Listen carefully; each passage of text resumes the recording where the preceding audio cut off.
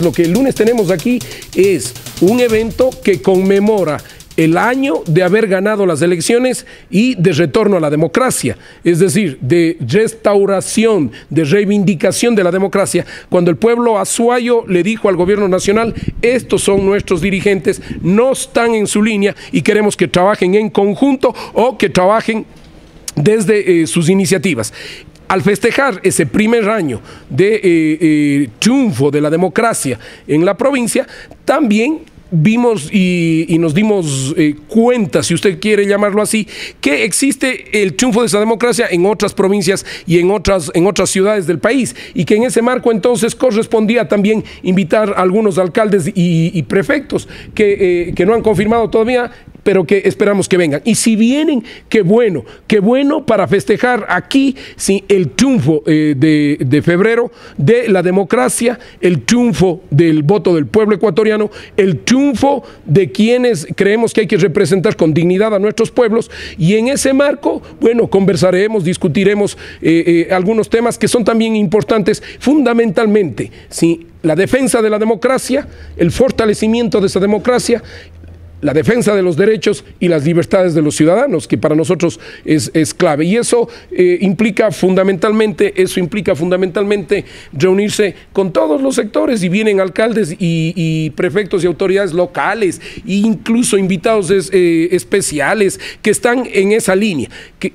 no han confirmado todavía, pero eh, no he visto todavía quienes, quienes han confirmado, digamos así, pero es importante que estén presentes, porque en el Azuay estamos eh, eh, clarísimos de que se está dando una línea diferente, que es la línea de la democracia, la línea de los derechos, y que desde el sur, si estamos construyendo un espacio democrático para el pluralismo, para el análisis, para la, la, discusión y que desde el sur creemos que no es necesario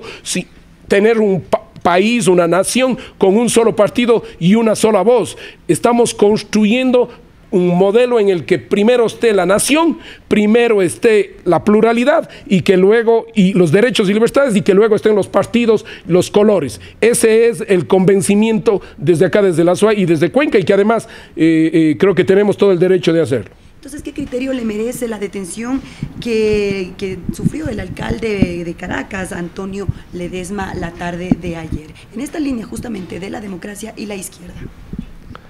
Mire, yo lo que creo es que efectivamente eh, hay una confusión entre eh, lo que significa la izquierda moderna, la izquierda con un profundo arraigo eh, democrático, la izquierda que quiere radicalizar la, democracia, con un modelo que no sabemos si al momentos es de socialismo o capitalismo de Estado, en donde el Estado ¿sí? se pasa a ser de una o dos personas y por lo tanto ellos toman las decisiones para el control del poder, incluso a costa de eh, eh, eh, la votación popular, porque en definitiva electores, electores han definido o defienden o han votado, perdón, por sus alcaldes, han votado por sus, por sus representantes locales. Yo creo que lo de Venezuela realmente no estoy de acuerdo, no conozco de profundidad los temas jurídicos, pero en definitiva, es decir, existe una intromisión permanente de un gobierno con el que no comparto con respeto a los hermanos venezolanos, ¿sí? un gobierno que permanentemente se llama de izquierda, pero que no construye procesos,